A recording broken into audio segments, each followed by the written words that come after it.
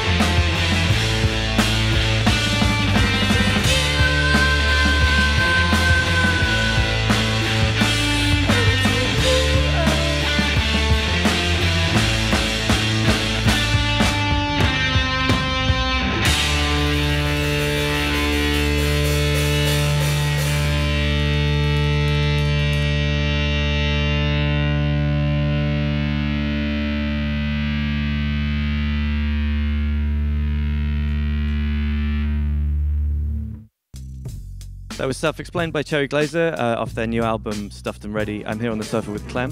Clem, Hi. good afternoon. How are you? Good afternoon. I'm good. How are you? Yeah, all good. Welcome to the UK. You're in the middle of a Thank pretty you. extensive tour. How's it all been going? It's been going great. Yeah, we feel really lucky to be out here. Last night we did London, and it was epic. And we played in Dublin and Glasgow. That was also really epic. Going and seeing our Caledonian cousins. Exactly. Good. But uh, so where are you off to next? There's uh, quite a long leg in Europe. You've already done the Yeah. States. Yeah, we have done the States. We've been touring pretty much nonstop since the album came out. Um, so we've been on the road for three months with a few days off at home. And yeah, it's been amazing. It's been a real, like, we're in the flow of it now. Being on the road is very natural to me because playing with my friends is like so much fun and is like everything I could have ever hoped and dreamed of. And I feel so lucky to be able to play every night. So in in that way, I feel infinitely grateful and lucky. Fantastic. Well, I mean, it's a great band. Yeah. You guys definitely sound like you've been on the road for Thank you. long enough to know It is a great on. band. We have the best crew and we have the best fans. Tell me a bit more about sort of the background behind the album, a little bit about the writing process. Um, it definitely seems a little bit more personal than Mm. previous records. Um, is that a conscious thing? Yeah. Well, is it a conscious thing? I don't know. I think it's kind of subperceptual the way that you grow as a writer. But I definitely took a step back and, and looked and noticed that it was definitely a more um, direct, sort of self explanatory record. Hence, self explained. Do you think that others. comes? Uh, obviously, you started so young. I mean, uh, was it Mm. 16 when the band started in the first Mhm. place? Yes. Um, so what's that? Nearly eight years uh, of Mhm. working with them. And do you think that sort of your progression musically and personally has come out naturally? Yeah, I mean, definitely. Like, I'm always um, writing things in my head, not so much words, but melodies. I don't know if it's um, very songwriterly of me to say, but I realize that I think that the melodies are more important to me than the words, and that's always what comes first. Are there any particular sort of themes that recur through the record at all? Is it is it sort of each song is its own individual observation of Mm. something, or is there a, a thread through the whole thing? I mean, honestly, I I I think that it's more what you said in the first place. Like each song tells its own story in a way, um, and I wanted to focus on each song and put a lot of love and detail into each song individually. And I think each one um, has a its own sort of personal, specific vibe. So um, the the band as it is at the moment, are you guys all originally from LA? Did you meet them sort of on the scene there? or- Um, yes. Tabor's been in the band for a good three years now, and he's like my ride or die. He's my creative buddy and my best friend. You're Robin to your Batman. Yeah, exactly, exactly. He is such a fun person to be with. Um, doing this creative journey with um, and livy is new she has only played a few shows with us and she's been just killing it she's one of the best bass players i've ever played with Amazing. Well, good. Yeah. As long as you've got a good core team. Um, oh my god yes How was um how was trying to sort of start off a career in music on the LA scene? Was it sort of quite a, a an inclusive, fun environment? Was it sort of nail and teeth? Oh yeah. No, no. I I love LA because I think it's a creatively open place. And um I think there's a lot of collaborations you can do in in that place that feel really good and and natural. And um I can't think of a better place in the world to make stuff with with folks. Amazing. The LA scene obviously super inspiring to be around. When was your first? I just have to do music moment. When was that? probably when I was like four or five. Um, I was writing songs and singing and running around the house singing all the time and dancing. And I was just a crazy little performer. And I was always, and then I like, you know, my mom and people would tell me that I had a really good voice. And so I felt very supported and um, confident. I was really lucky. You know, I, honestly, I, I mean, as far as it goes, I haven't gone through a ton of trauma in my life, and I feel sort of like very grateful about that. I wouldn't want to co-opt anybody else's trauma. I've, as far as it goes, had a pretty easy life. That's made me um, a sort of generally happy person. Definitely not jaded and still excited about Yeah. making things. Yeah. Um definitely not jaded. I feel That's always refreshing. like Yeah. I mean, ugh, boring. It's very easy to be cynical, isn't it? um, so next tune we're going to hear is Daddi. Um, tell us a little bit about what that's about, and then we'll have a listen.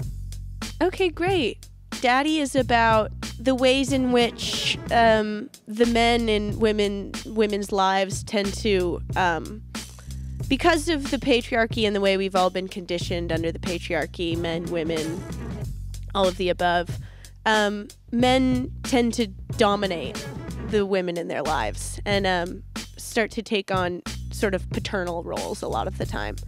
And it really frustrates me because I usually just want to be friends with my men, and I don't want them to take on paternal roles. But um, we're all conditioned that way, and so it tends to happen, and it can be very frustrating. So this is Cherry Glazerr with Daddi off the new album Stuffed and Ready.